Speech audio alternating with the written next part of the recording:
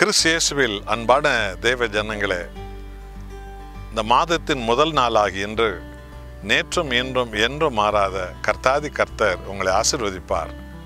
கடந்த நாட்களின் நஷ்டங்கள் எல்லாம் இந்த நாள் முதல் இயேசுவின் நாமத்தில் உங்களுக்கு கூட்டி கொடுக்கப்படும். பணம் பொருள் மாத்திரமல்ல உடல் சுகம் ஆரோக்கியம் எழுந்து போன சமாதானம் சந்தோஷம் ஆராதனையின் அபிஷேகம் எல்லாவற்றையும் இந்த நாள் முதல் தேவன் உங்களுக்கு அதிகரிக்க செய்வார். உபாகமம் ஏழாம் அதிகாரம் பதினாலாவது வசனத்தை பாருங்கள்.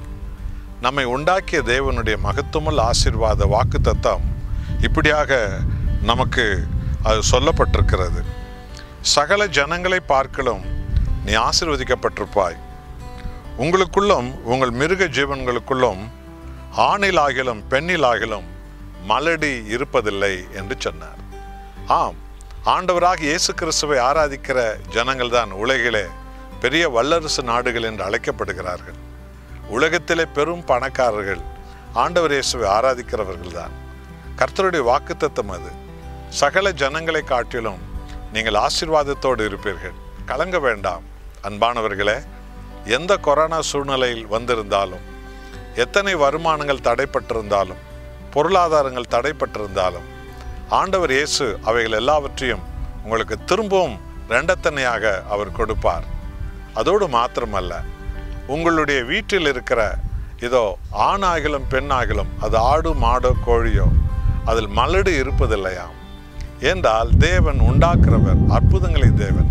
அப்படி என்று சொன்னால் கணவன் மனை வாழ்க்கையிலும் கூட மலட்டுத்தனம் இல்லாதபடிக்கு ஆண்டவர் அற்புதங்களை செய்து பிள்ளைகளை பெற்றெடுக்கும் வரங்களை எல்லாரும் கொடுக்க அவர் வல்லவராக இருக்கிறார்.